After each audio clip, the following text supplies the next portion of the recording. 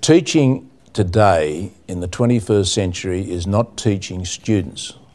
It's the learning occurs with students and teachers. The teachers have to become learners. We cannot uh, continue our education using the 20th century methodology of students sitting silently and taking in information. We have to have the students and the teachers participate in group work and collaborate and communicate together.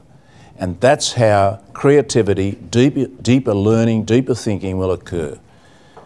You can't learn to drive a car by reading a book.